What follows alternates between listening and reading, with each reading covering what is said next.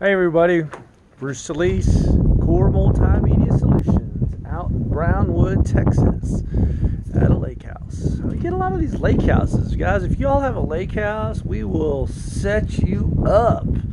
So this client has uh, got the coolest lake house because this is one of his houses. Then he's building that, or he built it already, that addition to his lake house. So uh, what he didn't have was a kick-ass audio system that made sense. So we added a bunch of Sonos to his house. We actually built him a network.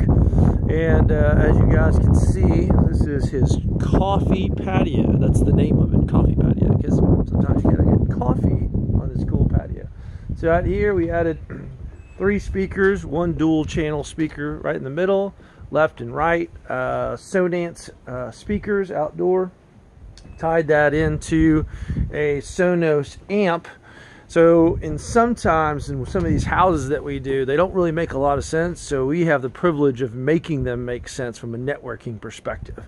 So one of the things that we end up doing is adding wireless access points, creating one single network, uh, creating multiple little areas that we can add either a an amp or switches or wireless access points. So uh, one of the things that we ended up doing is uh, we've been working on this for three days now.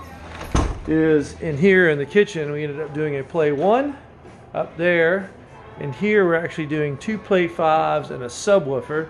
Jesus is pulling the magic together. Yay! And uh, so Jesus had to crawl up that little area right up there because only he's small enough to be able to do so. But he uh, he laughs. so one of the things that we have to do is crawl in tiny, tiny little spaces. So people go, "Hey, what is an audio video company?" And uh, it must be cool to to put in some some some some music and whatnot. And how, how, most of the stuff that we end up doing is construction and uh, then trying to figure out ways to get wiring from point A to point B. So if you can tell right here, there it is. So we ended up pulling wire from one part of the house to the next part of the house and adding uh, what's going to be another mini little hub. So Jesus right here is, you can see we got a wireless access point. Boom, right there. We got a little network switch in there. So you got a network switch. We have a Sonos amp. Then we also have two Sonos Play 5s. And then we'll have a sub in the corner, all of which are going to be hardwired. So you can see the little sub in the corner.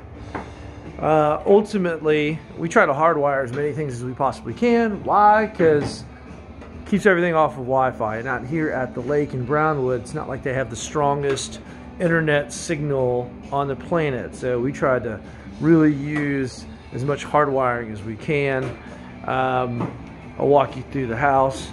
Issues we're hopefully wrapping up this evening. That's the game plan. But they wanted audio throughout their home or their multiple houses. So it's getting a little dark over here, but uh, see if we can turn around. All right, so here's one of the living rooms. So this is their current living room. So he wanted a singular music system that made sense, that wasn't going to be complicated. And uh, we ended up doing a Sonos Arc. Uh, we have the fortunate opportunity of being direct with Sonos, and uh, which gives us the liberty and opportunity to get certain products first prior to market. One of the challenges with COVID that we've had, as many of you know, is that we can't get anything. And uh, so we were finally able to get some ARCs. So we put in a Sonos ARC, got them a new TV, so they upgraded from a 10 year old TV to uh, 65 inch TV. I think it's a, it's a Samsung. I forget what I get everybody. It's Samsung, Sony. It's a whole different topic of conversation. We have a subwoofer over here in the corner. He wanted some depths of sound. and uh, that subwoofer is actually wireless. Everything else is hardwired. We ran uh, new cables from his router. We actually put in a new router to uh, the back of the TV. Again, hardwiring as much as we possibly can. Uh, you heard me talk at length about hardwiring uh, network versus keeping everything on, putting everything on Wi-Fi. Um, in the bathroom here, walking around, we added a Sonos 1. You can see that little guy sitting on the corner. There just happened to be an outlet right there, which made our lives a lot easier.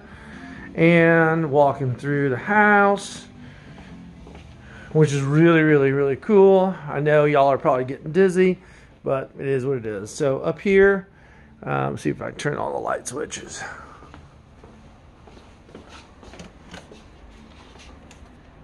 Okay, so in here, you uh, had a TV, different type of sound bars. You had multiple sound bars, different manufacturers. None of them really did a bunch of music stuff, so we ended up with Sonos Beam. And he's a huge, huge uh, music guy, so in order to have depth in every single room, we uh, had three subwoofers in this house. We actually added another subwoofer and that subwoofer is actually right behind here. So this may look crazy to you guys. Let's see if y'all can see it. Look at that. So, woo, there's a sub. All right, what is all that? Well, his current provider ended up coming in and doing what they normally do, which is find the easiest spot on the planet to put a router in. And we didn't have any type of networking closet.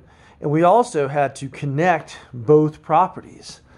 So uh, that became our new network area. We ended up hardwiring to this TV and then to that TV and then that area. We have two wireless access points, one on this side of the house, one on that side of the house. Uh, that's on this house. And then we have another large wireless access point on the other house. So I'll show you how that looks like. I'll walk through. And these great, great people are kind and trusting enough to have left us to freeze our butts off out here. And hopefully we won't get any uh, danger tonight driving back to uh, DFW Metroplex. But absolutely gorgeous, gorgeous view. As you can tell, it's still partially under construction, but this is the new addition to their lake house. And uh, beautiful, beautiful area. So we had the opportunity to uh, add some speakers. So we got a pair of Sonance uh, Mariners 8 inch up there. And then we were waiting for two more to be over there uh, back ordered like so many products out in the market. Um, I'll show you what the boys are up to. In here, it's probably loud because they've been cutting holes in this custom wood ceiling. And let's see. So we get a TV to mount up there, a Sonos Arc. Up here, you can tell, we went ahead and installed 8-inch Sonance speakers, and then here is our adjoining little cabinet.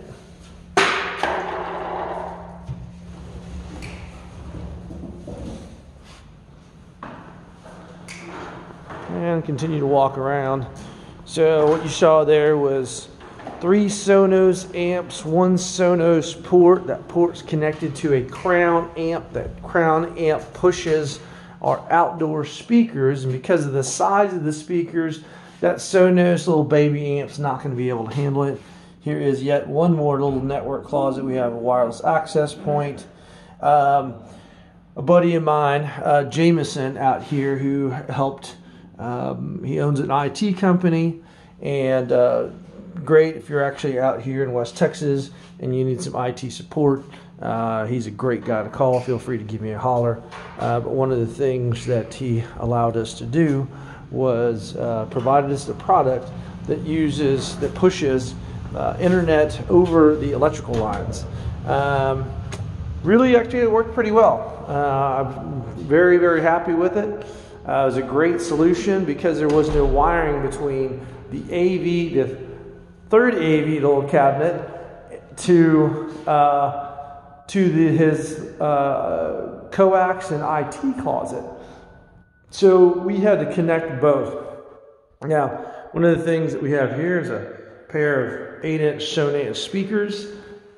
And then in the garage, we decided we had the opportunity to, ooh, look at that.